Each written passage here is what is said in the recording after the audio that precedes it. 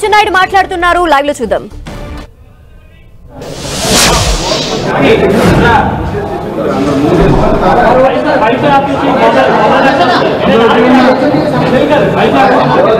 అందరూ ఓకేనా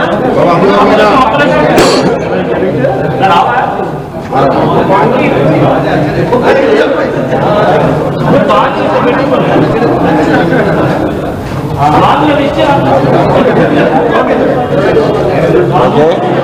సైలెన్స్లో ఉండాలి?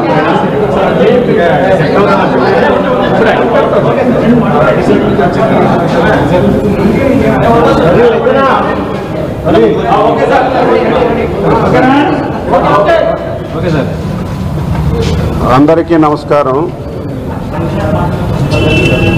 ఇరవై ఎనిమిది గంటల నుంచి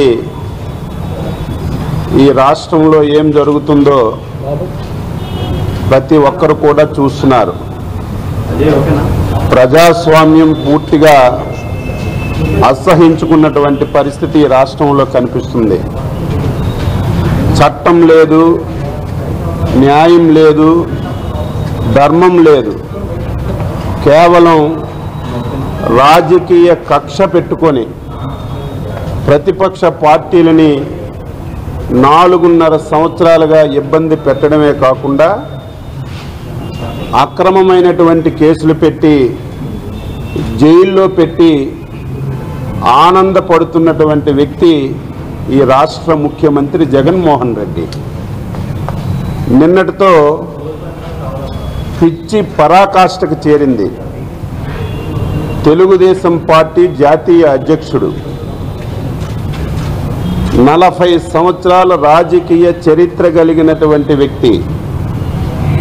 పద్నాలుగు సంవత్సరాలు ఈ రాష్ట్రానికి ఉమ్మడి రాష్ట్రానికి ముఖ్యమంత్రిగా సేవలందించినటువంటి వ్యక్తి.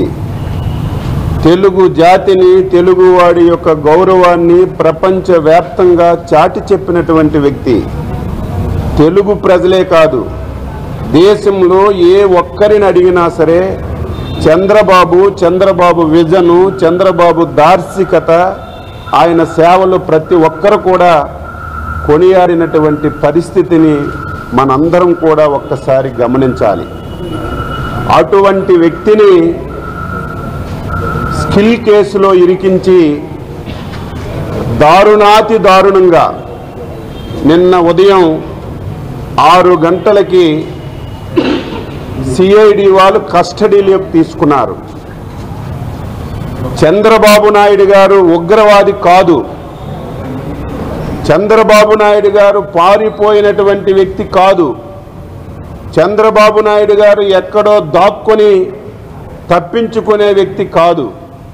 అందులో కేంద్ర ప్రభుత్వం ఇచ్చినటువంటి ఎన్ఎస్జి ప్రొటెక్ట్ కలిగినటువంటి వ్యక్తిని మీరు ఇంత దారుణాతి దారుణంగా ప్రతి ఒక్క పౌరుడు బాధపడి అసహించుకునే విధంగా మీరు నిన్న అరెస్టు చేయడం ప్రజాస్వామ్యానికి చీకటి రోజు ఆంధ్రప్రదేశ్ని చీకటమయంలో పెట్టినటువంటి రోజుగా నేను భావిస్తున్నాను. కేసు ఏంటి? Skill development case. రెండు వేల పదిహేనులో పదహారులో జీవో ఇచ్చారు. జీవో ఇచ్చిన తర్వాత డీటెయిల్గా క్యాబినెట్లో డిస్కస్ చేశారు. డిస్కస్ చేసిన తర్వాత దానికి కావలసినటువంటి బడ్జెట్ని ఆంధ్రప్రదేశ్ శాసనసభ రెండు వేల పదిహేను పదహారు బడ్జెట్లో పొందుపరిచి ఆ ప్రాజెక్ట్ని ఇంప్లిమెంట్ చేశారు. ఐదు సంవత్సరాలు ఆ ప్రాజెక్టు వల్ల ఈ రాష్ట్రంలో ఎంతోమంది యువకులు ఎంతోమంది మహిళలు అక్కడ ట్రైనింగ్ పొంది ఉద్యోగాలు పొందినటువంటి విషయాన్ని నేను చంద్రబాబు నాయుడు చెప్పలేదు. ఈరోజు కేసు పెట్టినటువంటి సిఐడి సిపే నిన్న పాత్రికేయుల సమావేశంలో చెప్పిన విషయాన్ని నేను గుర్తు చేస్తున్నాను. ఆ ప్రాజెక్టులో మూడు వందల ఎనభై కోట్లు అవినీతి జరిగిందని. ఆ డబ్బు సిమెంట్స్ ద్వారా సెల్ కంపెనీకి వెళ్ళి ఆ డబ్బు మళ్ళీ చంద్రబాబు నాయుడు గారికి అందిందని ఒక ఊహాలోకాన్ని సృష్టించుకొని ఒక ఊహాన్ని వాళ్ళలో వాళ్ళు పెట్టుకొని కేసు కట్టి ఇంత దారుణంగా అరెస్టు చేశారంటే ప్రజలందరూ గమనించాలని చెప్పి నేను కోరుతున్నాను. ఒక సీనియర్ పొలిటీషియన్ ఈ రాష్ట్రంలో ప్రతి కుటుంబానికి ప్రతి ఇంటికి ఏదో ఒక విధంగా సహకారం అందించినటువంటి వ్యక్తి. ఎవరు కష్టాల్లో ఉన్నా తెలుగువాడు ఈ ప్రపంచంలో ఎక్కడ బాధపడుతున్నా ఫస్ట్ పండించినటువంటి నాయకుణ్ణి నిన్న అరెస్టు చేసి మీరు వ్యవహరించినటువంటి తీరు. నంద్యాల నుంచి తొమ్మిది గంటల కారులో మీరు బై రోడ్డు తీసుకొచ్చారు. ప్రజలు ఉప్పొంగిన కోపంతో బాధతో రోడ్డు మీదకు వస్తే పోలీస్ యంత్రాంగం అడ్డగోలుగా లాఠీ ఛార్జీలు చెట్టి చితకబెట్టారు నిన్న ఐదు గంటలకు తీసుకొచ్చారు. పది గంటలు చాలా బాధ ఆవేదన కలుగుతుంది. అటువంటి నాయకుడిని రెండు రోజులు నిద్ర లేకుండా అక్కడికి తిప్పి ఇక్కడికి తిప్పి ఇన్వెస్టిగేషన్ అని ఇబ్బంది పెట్టి ఈరోజు మీరు విజయవాడ సిబిఐ కోర్టులో పొందుపరిచారు. రిమాండ్ రిపోర్టు నిన్న సిఐడి చీపు ఏదైతే ప్రెస్ మీట్లో చెప్పాడో దేనికి ఇన్వెస్టిగేషన్ ఆఫీసర్ ఇన్వెస్టిగేషన్ ఆఫీసర్ ఈ కేసులో ఉండవలసిన అవసరం ఏముంది? నువ్వు సపరేట్గా ఏం ఇన్వెస్టిగేషన్ చేశావు? మీ ఐసిఐడి సీప్ చెప్పిన విషయాన్నే నువ్వు రిమైండ్ రిపోర్ట్లో పొందుపరిచావు. అది చూసిన తర్వాత నేను చదివాను. సిగ్గుపడుతున్నాను.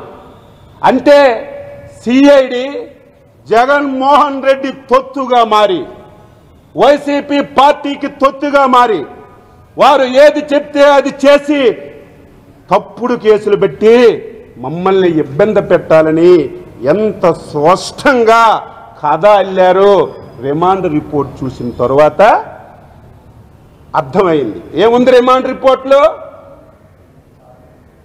చంద్రబాబు నాయుడు గారు ఆ రోజు నేను మంత్రిగా లేను చివరి దశలో నేను మంత్రిగా వచ్చాను. ఫస్ట్ అది ఎడ్యుకేషన్ శాఖ ఉండేది. చివరిలో నేను ప్రాతినిధ్యం వహించినటువంటి లేబర్ శాఖ వస్తే ఆ రోజు చంద్రబాబు నాయుడు నేను తప్పుదోవ పట్టించామని. ఆ రోజు క్యాబినెట్లో తప్పు చెప్పామని. ఏం క్యాబినెట్లో నోట్లో వేలు పట్టుకున్నటువంటి వాళ్ళు ఉంటారా చదువు లేనటువంటి దద్దమ్మలు ఉంటారా క్యాబినెట్లో ఎవరుంటారు? అది కూడా మీకు తెలియదా సీనియర్ మంత్రులు ఉంటారు. చీఫ్ సెక్రటరీ ఉంటాడు. సీనియర్ ఐఏఎస్ ఆఫీసర్లు ఉంటారు. ఆ శాఖని ప్రాతినిధ్యం వహిస్తున్నటువంటి ప్రిన్సిపల్ సెక్రటరీ ఉంటాడు. ఆ రోజు నియమించినటువంటి కమిటీకి ఎండి ఉంటారు. అందరూ కలిసి క్యాబినెట్లో కూలంకుశంగా చర్చించి ప్రయోజనాలు కలుగుతాయని క్యాబినెట్లో ఆమోదం చేస్తే చంద్రబాబు నాయుడు దానికి తోకలాగా నేను ఏదో తప్పుడు సమాచారం ఇచ్చి ఈ అన్యాయాన్ని ఒడిగట్టామని ఎంత నిగ్సిగ్గుగా రిమాండ్ రిపోర్ట్లో రాశారు ఈరోజు ఎందుకు మీరు అరెస్ట్ చేశారు? కేసు ఎప్పుడు పెట్టారు? రెండు వేల పంతొమ్మిది డిసెంబర్ తొమ్మిదవ తారీఖున ఈ విషయం మీద మీరు ఎఫ్ఐఆర్ కోశారు. ప్రజలు గమనించండి ఒక వ్యవస్థ మీద ఒక కార్యక్రమం మీద ఒక ఇష్యూ మీద కేసు కడితే ఒక రోజు రెండు రోజులు నెల రెండు మాసాలు ఆ కేసులో ఎవరు తప్పు చేశారో వెతికి వెతికి అరెస్ట్ చేస్తారు. ఒకవేళ తప్పు దొరికితే అవినీతి జరిగితే వెంటనే కోర్టులో షీట్ వేస్తారు. రెండు సంవత్సరాలైంది. మీరు కోసిన ఎఫ్ఐఆర్లో ఎక్కడైనా సరే చంద్రబాబు నాయుడు గారు పేరు కానీ నా పేరు కానీ ఎక్కడైనా మీరు ప్రస్తావించారని చెప్పి నేను అడుగుతున్నాను. ఈ కేసు నిన్న పెట్టింది కాదు రెండు సంవత్సరాలు ముందు పెట్టిన కేసు. ఈ కేసులో ఎంతో మందిని మీరు అరెస్ట్ చేశారు. అరెస్ట్ చేసిన వాళ్ళకి బెయిల్ వచ్చి బయట ఉన్నారు కొంతమందిని అరెస్ట్ చేస్తే మీరు చేసిన అరెస్ట్ తప్పని రిమాండ్ రిజెక్ట్ చేసిన వాళ్ళు కొంతమంది ఉన్నారు. కొంతమంది యాన్స్పేటరీ బెయిల్ తెచ్చుకొని బయట తిరుగుతున్న వాళ్ళు ఉన్నారు. ఇటువంటి కేసుని కనీసం సంబంధం లేనటువంటి వ్యక్తిని ముఖ్యమంత్రి ఏం చేస్తారు? మంత్రులు ఏం చేస్తారు? ప్రభుత్వంలో పాలసీ డెసిషన్ తీసుకుంటారు. ప్రభుత్వంలో విధాన నిర్ణయాలు తీసుకుంటారు. ప్రభుత్వం తీసుకున్నటువంటి నిర్ణయాలు క్యాబినెట్ తీసుకున్నటువంటి నిర్ణయాలు అధికార యంత్రాంగం మంచా చెడా నష్టమా లాభమా? ఆ విషయాన్ని ఆచరించవలసింది అధికార యంత్రాంగం. ఆ రోజు ఈ ప్రాజెక్ట్ అమలు చేసినటువంటి అధికారుల పేర్లు ఎందుకు సిఐడి చీపు ఈ ప్రభుత్వం ఇందులో పొందుపరచలేదని అడుగుతున్నాను.